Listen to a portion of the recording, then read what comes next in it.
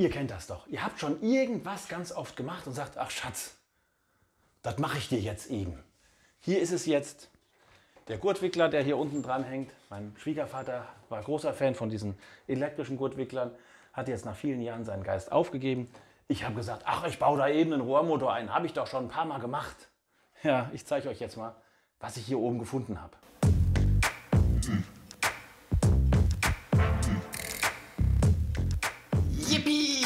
Das hat geklappt! Jetzt Jojos Workshop abonnieren. Machen wir mal als erstes die Gardine runter.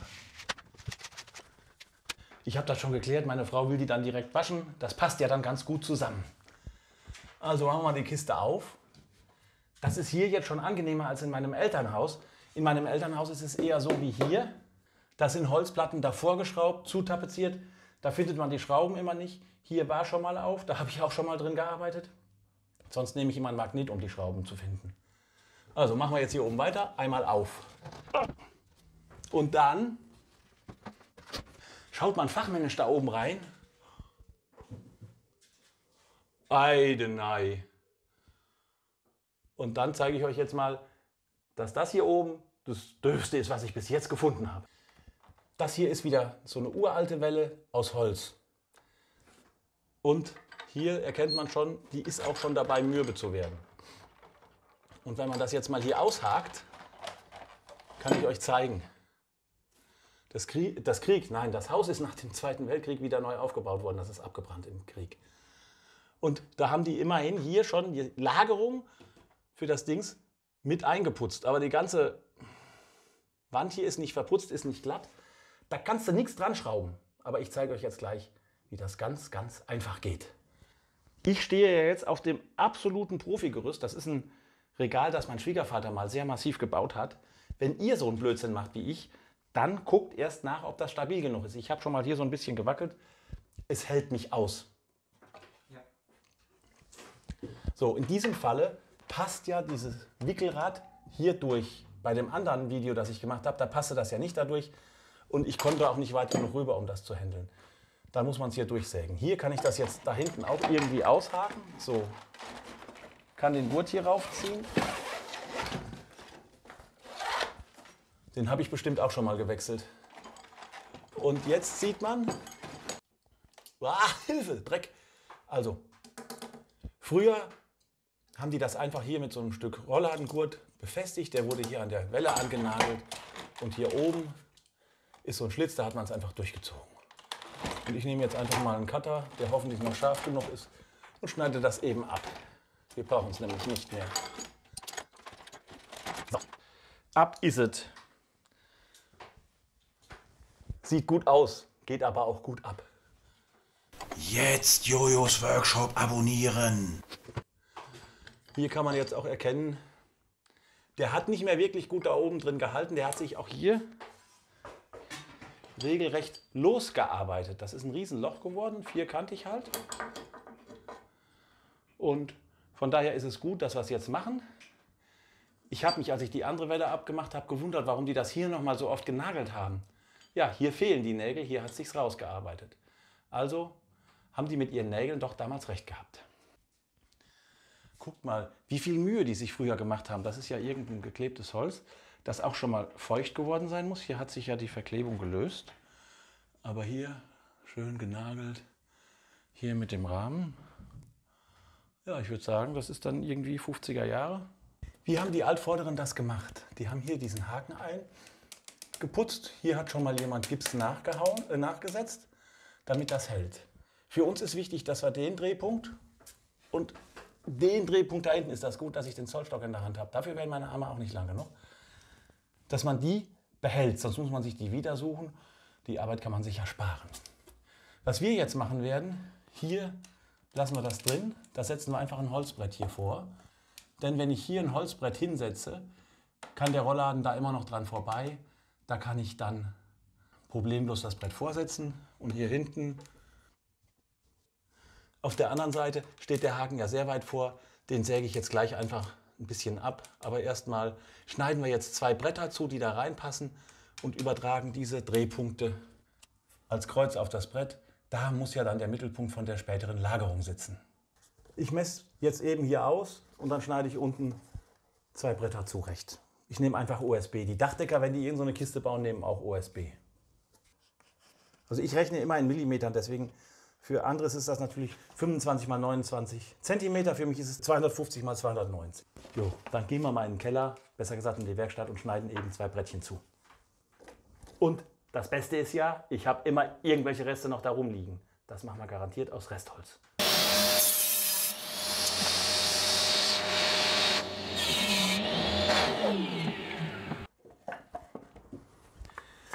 Ich war jetzt unten in der Werkstatt und habe diese Streifen hier mit meiner Kreissäge geschnitten, als Konsole quasi, um das da anzuschrauben. Ist mir aufgefallen, ich hätte natürlich auch eine Filmaufnahme machen können. Schließlich habe ich den Parallelanschlag selbst gebaut. Glaubt mir, er hat toll funktioniert. Das Video gibt es oben im Eck. Ich glaube, das ist das Eck oder ist es das? Auf jeden Fall in einem der Ecken. Könnt ihr euch gerne angucken. Ich bin sehr zufrieden mit meinem Anschlag. Jetzt zeige ich euch, was ich mir vorgestellt habe. Das kommt hier oben so hin. Und dann kann ich da die große und unten auch. So. Und dann kann ich da jetzt diese Platte vorsetzen.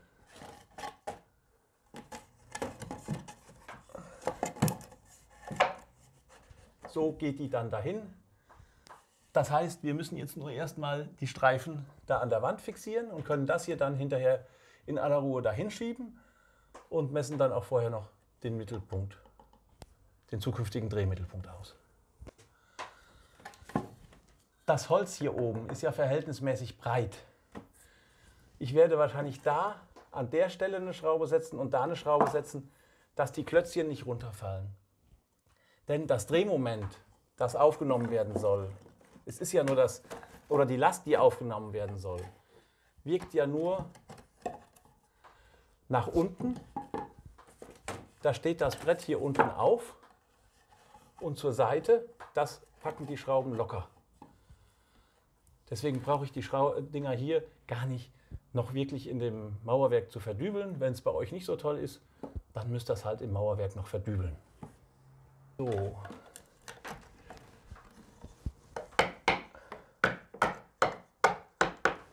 Zweites Loch anzeichnen.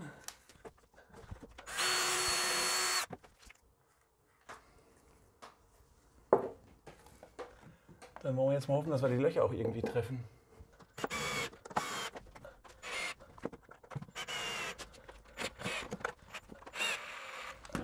Hält. Das gleiche machen wir unten auch noch. Wenn da da dran ist, melden wir uns wieder.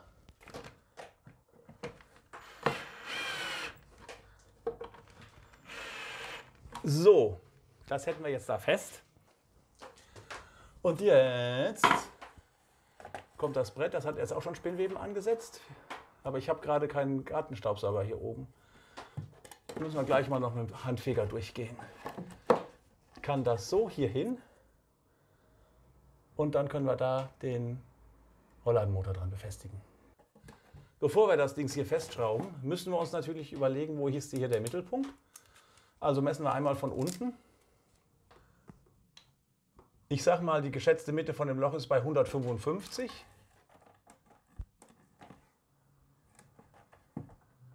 Von unten. Und wir nehmen diese Kante, auch die Außenkante nehmen wir. Da ist ja sogar sowas wie ein Zacken drin. 125 von vorne.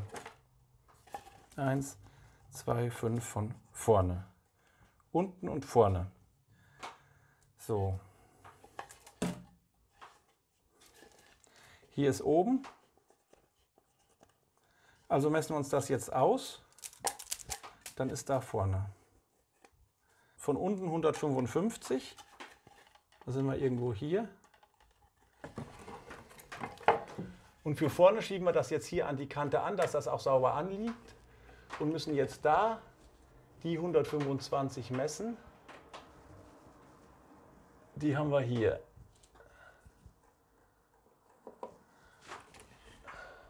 Da oben müssen wir aber hin.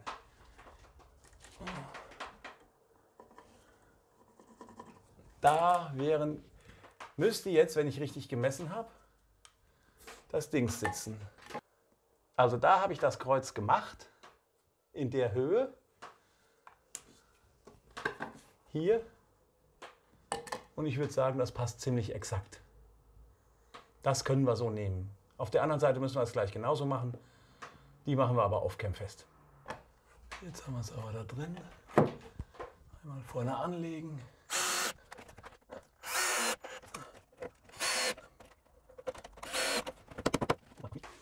Das hält jetzt.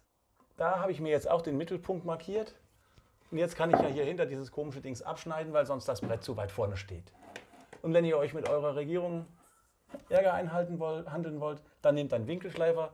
Das stinkt dann ja immer so nach der abgenutzten, verbrannten Trennscheibe.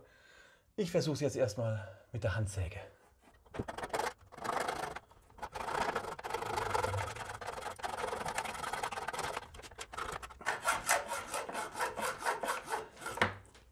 Aber das da rauszuhauen, das traue ich mich auch nicht. Ich befürchte, die Altvorderen haben das extrem gut da reingehämmert und eingeputzt. Also, der Knubbel hier oben ist jetzt endlich weg. Das mit der Hand absägen, ich liebe meine Frau halt so. Und wenn ich hier mit dem Winkelschleifer geschliffen hätte, hier oben mit dem trockenen Holz, das wäre aus Feuerschutzgründen auch nicht so toll gewesen. Ich habe mir also schwer einen abgebrochen, das abzusägen. Jetzt ist es ab. Und jetzt habe ich festgestellt, hier ist ja noch ein Absatz. Da kann ich aber jetzt mal mindestens eins oder vielleicht sogar zwei von den Brettstreifen hinlegen, damit dann dieses Brett Ja, also zwei Streifen da hinlegen, hin, hinlegen, hinschrauben. So. Da liegt das abgeschnittene Stück hier. so. Damit das abgeschnittene Brett dann gut hier hinpasst. Das hält dann auch so. Wenn ihr euch mal ein anderes Video über die Jalousien anguckt im, im RK-Zimmer, da sind das so ganz filmschicke Metallbügel, an denen das angeschraubt ist, die hin und her wackeln können. Das hier stützt sich ja hier auf. Das hält dann auch, wenn ich das jetzt hier neben oben und unten anschraube, dann hält das auch. Die Jalousie will ja nach unten ziehen und dann zieht die die Kiste nur rein und will die nicht wegdrücken.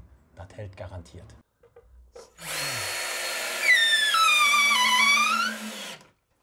Gut. Drin ist es. Jetzt haben wir da oben das Loch vorbereitet mit den beiden Brettern, wo wir alles montieren können. Was brauche ich?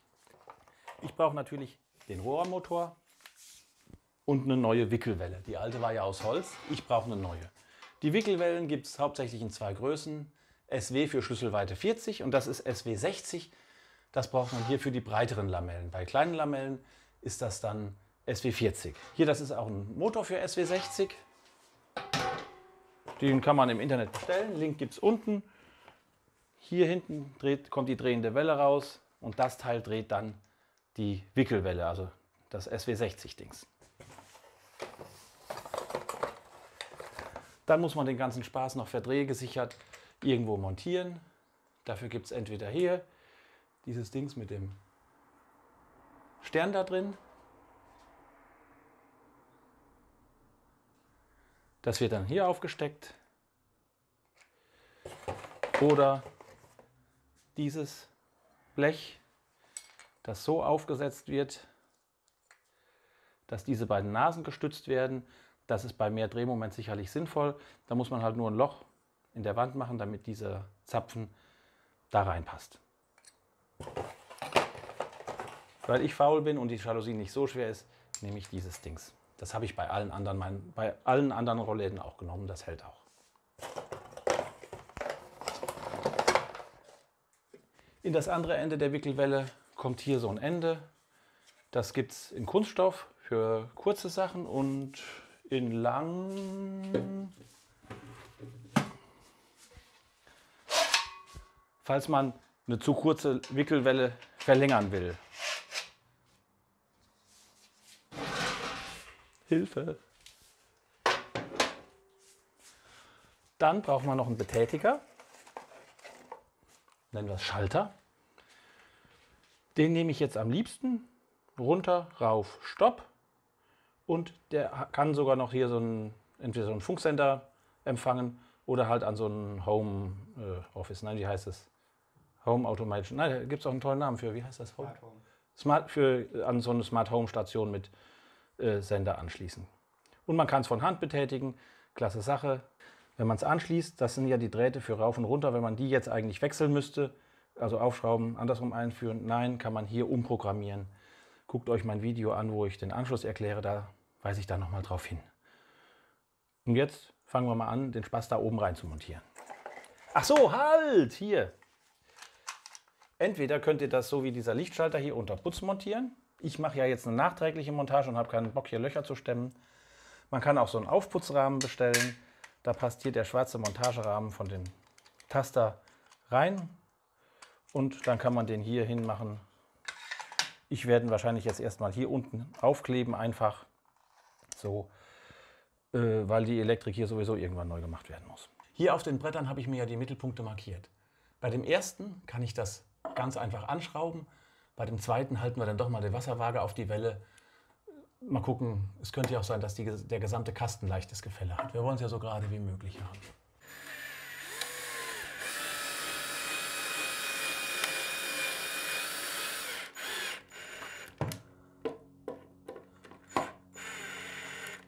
Das hier ist jetzt das Antriebsrad SW60. Das kommt hier oben drauf. Und hier ist der Sicherungsclip, der wird jetzt hier aufgeschoben fest. Jetzt kann das nicht mehr darunter und das dreht dann hinterher die Rollladenwelle. Und jetzt schieben wir den ganzen Spaß in die Rollladenwelle rein, weil wir ja die 2 Meter Version gekauft haben und die ist etwas zu lang. Da müssen wir ja gleich auch noch die Länge ermitteln. Also vorsichtig einführen mit viel Gefühl. Die 60er lassen sich einfacher einführen als die 40er, weil der Motor nicht so dick ist im Verhältnis zu der Welle. Der Motor passt sonst in die 40er Welle ganz genau rein, da muss man immer mehr Gefühl haben. Und jetzt kommt der große Moment, wo wir die Länge markieren. Mit diesem Einsatz kann man ja auch noch ein paar Zentimeter ausgleichen. Der sollte sicherlich mal bis mindestens hierhin drin stecken oder besser hier. Aber man muss es nicht auf den Millimeter genau ausmessen. Wir zeichnen mal oben an. Jetzt steckt es da hinten drin. So. Also wenn wir das hier abschneiden, müsste das ganz gut sein. Jo, da machen wir das jetzt ab. Vorsichtig da wieder raus. So halten, dass der Motor da nicht rausrutscht. Das wäre ja doof.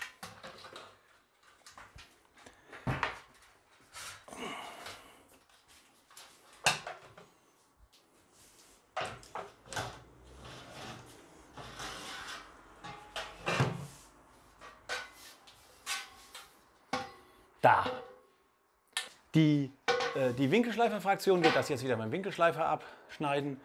Bis dass ich den aus der Kiste geholt habe, ist mir, glaube ich, zu viel Arbeit. Ich säge ja gerne. Damit habe ich dann in der Ecke diesen komischen Zapfen abgeschnitten. Ich glaube, ich muss auch mal noch in ein neues Sägeblatt investieren. Jetzt machen wir das hier eben ab. Das ist ja dünnes Blech, das sägt sich auch ganz einfach. Wink Winkelschleifer wäre vielleicht doch besser. Das will hier immer wieder raushüpfen, weil das Rohr so flexibel ist oder so, so vibriert beim Sägen. Das ist ja so ein gekantetes Rohr, das hier mit der Falz verschlossen ist. Hier ist die Nut in dem Dings. Die muss da hin. Und wenn man das entgratet hat, dann geht das ganz leicht da rein. Die Länge habe ich ganz gut getroffen. Hier muss ja jetzt noch das Lager hin und da muss ich ja auch reinkommen können. Deswegen muss schon ein bisschen Luft da sein. Jetzt kommen wir zum Lager. Hier neues Lager. Vorher hat das ja nur in, dem, äh, in der Gabel da gelegen. Jetzt habe ich ein neues Lager eine Lageraufnahme. Weil wir unser schönes Brett da haben, brauchen wir die ja nur mit Spaxschrauben anzuschrauben, dann haben wir Ruhe. Das Lager, ach so, das, das wird da so ein bisschen gehalten, dass es da nicht wieder rausspringt. Jo, das klippst nur da so ein. Äh, aber es mag mich jetzt noch nicht so. Das Lager hat sich jetzt doch etwas mehr gewehrt, als ich gedacht hatte. Wichtig ist, dass das hier unten aufliegt, sonst rutscht im Laufe der Zeit das Lager nach unten unter der Belastung. Ich habe jetzt hier so eine ganz billige kurze Wasserwaage, die hat aber schon mal den Vorteil, sie hat einen Magneten und sie hat ein Licht. Sie hätte auch noch einen Laser, der nutzt mir aber jetzt ja nichts. Jetzt stecken wir unser Lager mal hier hinten drauf. Da wäre, da ist ja mein Kreuz. Und da kann ich jetzt schon sagen, dass das Kreuz an der richtigen Stelle sitzt. Ich kann das also so festschrauben, wie ich es angezeichnet habe. Ich nehme also jetzt hier einfach den Bohrer, einen 12er Bohrer, das ist auch ein 12er Lager da, pieke den da rein und kann jetzt in aller Gemütsruhe hier meine Kringelchen malen. Eins, zwei. Die Vierer-Schräubchen, die ich geholt hatte, waren zu dünn und die Fünfer sind eigentlich zu lang, aber egal, dahinter ist ja Platz. So.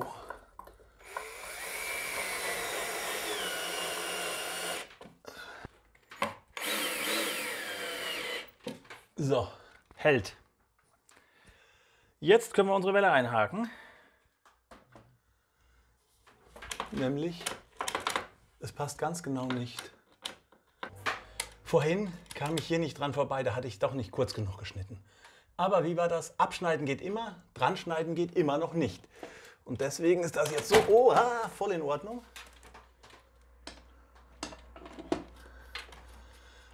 Und jetzt hängt das. Den Streifen da, ich habe so viel abgeschnitten. War dann vielleicht doch etwas mehr, als ich gemusst hätte. Aber das ragt jetzt noch bis dahin da rein. Das reicht allemal. Und jetzt gucken wir mal noch an dem anderen Ende. Hier sind jetzt die beiden Stellschrauben für die Endschalter. Die dreht ihr euch natürlich so, dass es euch auch gefällt. Ich denke, ich lasse das so. Wenn ich das jetzt um, mal gucken, wie das wirkt, wenn ich das jetzt um einen Zacken weiter drehe da. Nee, das gefällt mir nicht. Ich will das andere haben. So will ich die da drin haben. Hier ist ja das Loch, wo der Gurt vorher durchging. Da komme ich mit meinem Kabel wunderbar nach unten. Denn das ist lang genug, das reicht bis hier unten zu dem Schalter. Ich mache mal den Rollladen fertig zum Anschluss hier oben. Die alten Dinger raus.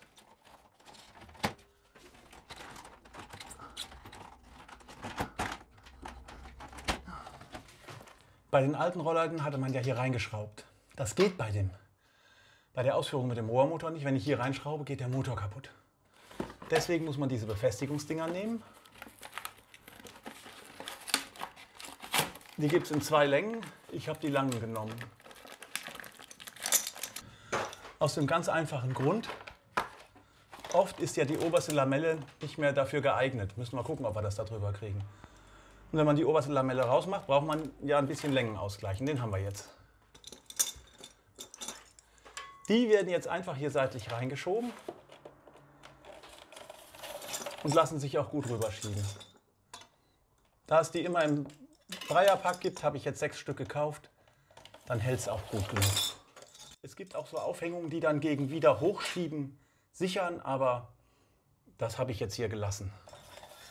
Wahrscheinlich würden vier von den Dingern auch reichen, aber ich mache jetzt einfach alle sechs da dran. Aber jetzt müssen wir erstmal anschließen damit wir die Welle so stellen können, dass wir das hier einhaken können. Stück Kabelkanal, um das Kabel hier schön zu verstecken. Das ist noch von der alten übrig. Das nehme ich jetzt einfach. Hier ist jetzt das vieradrige Kabel, das da oben noch durch das Loch gezogen werden muss. Wir ziehen das erstmal hier durch. Schöner wäre es, wenn ich da hinten ein neues bohren würde. Kann ich immer noch tun. Wir wollen ja nicht den Designerpreis gewinnen, sondern einfach nur eine kaputte Jalousie reparieren und wenn ich es da irgendwann mal hier neu tapeziere oder so, dann mache ich das mal ordentlich. Den Kabelkanal klebe ich später mit doppelseitigem Montageklebeband hier irgendwo an. Aber jetzt für die erste Montage reicht das so, finde ich. Wenn man sich das jetzt hier betrachtet, wird das angeschlossen wie eine normale Verlängerungsschnur. Wer das noch nie gemacht hat, der lässt die Finger davon, der lässt es vom Elektriker machen.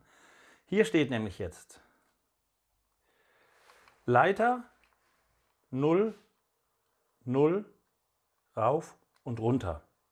Also, der braune kommt hier rein, der blaue von der, also der braune von der Zuleitung kommt hier rein, der blaue von der Zuleitung kommt da rein, der blaue hier vom Rohr, äh, Rollladenmotor kommt da rein und dann haben wir hier jetzt noch schwarz und braun, die sind für rauf und runter, die macht er wahlfrei da rein. Drehrichtung kann man hinterher noch tauschen.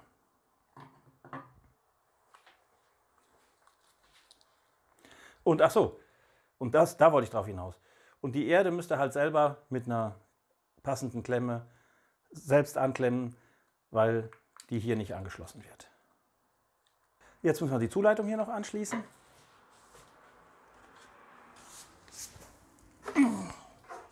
Die kommt noch von hier unten. Die ziehen wir auch mit durch das Loch hier rein.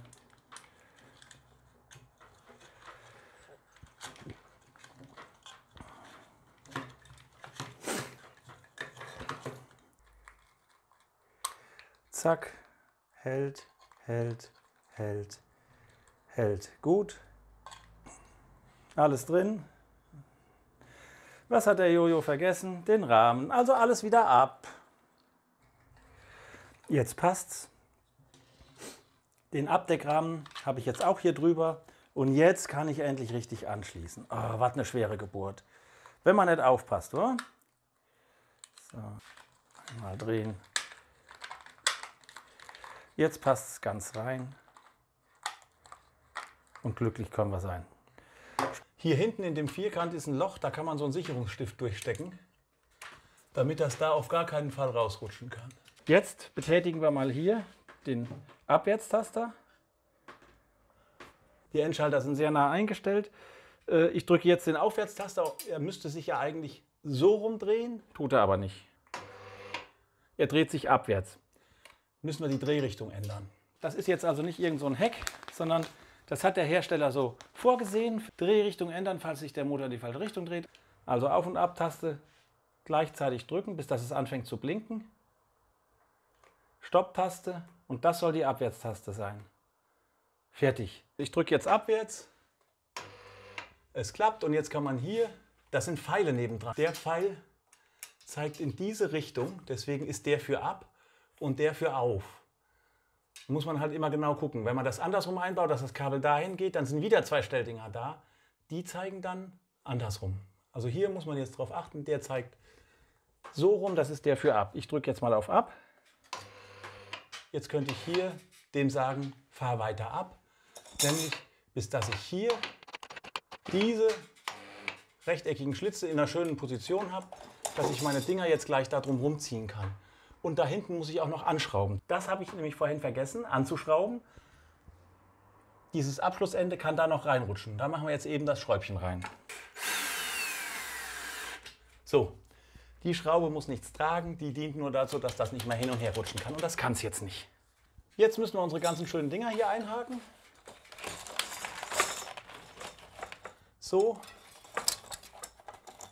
Zack.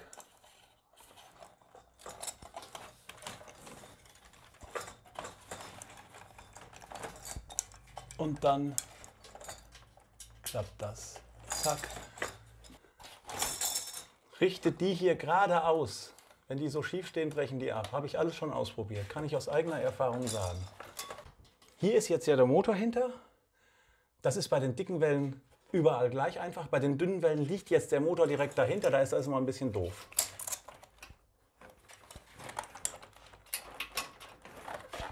So, alles hängt drin. Bevor ihr den Rollladen einhängt, fahrt das Ding in die untere Position. Dann habt ihr die Endposition schon eingestellt.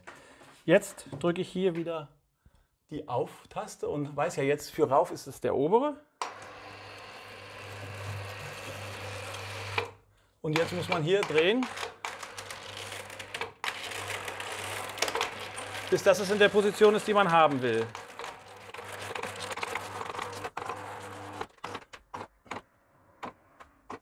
Hier das Kabel werde ich hier noch mit so, einem, so einer Klemme befestigen, damit das nicht hier reinkommt. Hier den äh, Kabelkanal klebe ich hier auch noch an, dass das ordentlicher aussieht. So, fertig. Es funktioniert. Das andere mache ich dann noch schön. Und jetzt kann ich wieder sagen, ich liebe es, wenn ein Plan funktioniert. Und zu euch kann ich sagen, vielen Dank fürs Zuschauen und tschüss, bis zum nächsten Mal.